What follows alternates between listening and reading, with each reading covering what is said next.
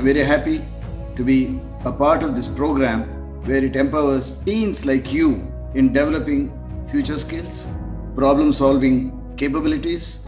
policy making ideas,